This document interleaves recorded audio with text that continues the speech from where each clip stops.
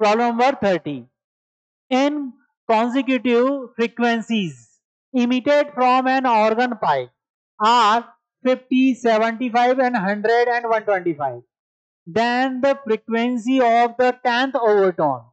10th overtone का बताना है ये दे रखा है आपको 50, 75, 100 और 125 ये आपको दिया हुआ है इनमें सबसे बड़ा जो कॉमन होगा वो आपके पास 25 होगा।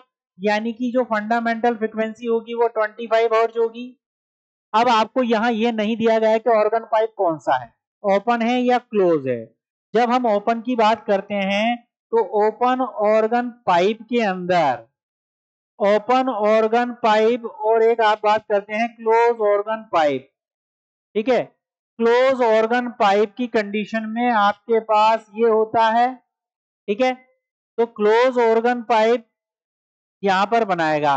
यानी कि ये दूसरी कंडीशन में आपके पास कैसे बनाएगा? ये ऐसे बनाएगा। ठीक है? ये लैमडा बाई फोर होगा और ये आपके पास थ्री लैमडा बाई फोर होगा।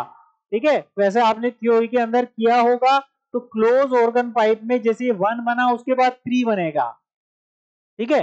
तो ये one ratio three ratio five में होता है। जबकि ओपन में सभी बनते हैं। वन टू थ्री सभी बनेंगे। ठीक है? तो यहाँ पर अगर हम देखें 25 की फॉर्म में देखें 25 फंडामेंटल है तो 25 भी बन रहा है 50 भी बन रहा है 75 बन रहा है। ठीक है? इसमें करें तो 25 25 के डायरेक्ट बाद 75 बनेगा, क्योंकि 3 इंटू ट्वेंटी ये 125 तो हमारे पास जो गिवन है, उनमें 50 भी है, इसमें 50 नहीं बन रहा। यानी ये क्लोज नहीं होगा, कौन सा होगा? ओपन होगा। और ओपन में वन टू थ्री यानी ट्वेंटी फाइव फिफ्टी और सेवेंटी फाइव बन रहे हैं। अब आपसे जो पूछा गया है, वो टेंथ ओवरटोन के लिए पूछा गया है। ओवरटोन हमेशा एक ज़्यादा बनती है। जब टेंथ ओवरटोन की बात करेंगे, ठीक है? तो टेंथ ओवरटोन जो बनेगा, वो इलेवेंथ बनेगा। यानी कि इलेवन इंटू एफ़ है ना, जो फंडामेंटल है, यानी इलेवन इंटू ट्वेंटी कितना हो जाएगा?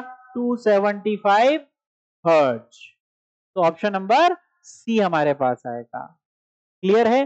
क्वेश्चन में हमें नहीं दिया था कि ऑर्गन का एक कैसा है क्लोज है ओपन है तो पहले हमने इसको पता किया है। तो हमने यहाँ पर देख लिया ओपन ऑर्गन पाइप है, उसी के अकॉर्डिंग हमने यहाँ पर टेंथ ओवरटोन के लिए निकाला। ओवरटोन इससे एक ज़्यादा मिलती है। नाइन्थ है तो टेन टेंथ है तो इलेवन तो इलेवन एफ़ आएगा। ठीक है? थैंक यू आशा करता हूँ सारी चीज़ें आपको समझ में आई होंगी।